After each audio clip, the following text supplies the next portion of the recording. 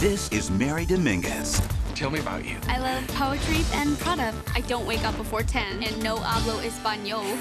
This is Nora Dominguez. Sorry, I thought you were my sister. Do I look like your sister? No, you're taller and on time.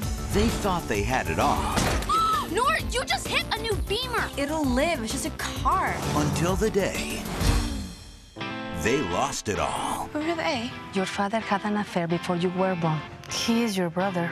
You have a brother? Mm-hmm. Your father was in bankruptcy. What about the house? Let us buy it. So you're poor. No more shopping. No high protein diet. Poor people only eat carbs. Where are we going? To our aunt's house. Some place called East LA. Welcome to the barrio, mija. Drive, just drive. Oh drive. my god. And you are on the other side of the border. Nice to meet you, Mari. it's Mary, and I'm not tipping you. We gotta get out of here and go where? Four Seasons? Immigration! You seem to have adapted well. Survival skills. Ah. Don't steal anything. You think all Mexicans steal? I don't know. I'm not Mexican. With a pancho and huaraches, you can make a killing selling tamales.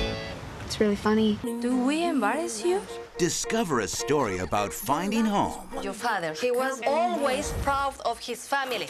in the last place There's a party at my aunt's if you dare to come. you'd expect it. So, you clean up all right for a homeboy. Wow, you uh, look like Frida Kahlo. Thank you. Oh, yeah, without the Unibrow.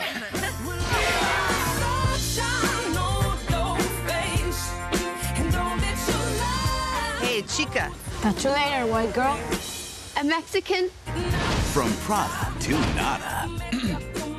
Rodrigo Antonio Fuentes Hidalgo de la Borbolla Jr. Aurelia Margarita Jiménez Cisneros para servirle, joven. I seriously need to learn Spanish. Sunshine.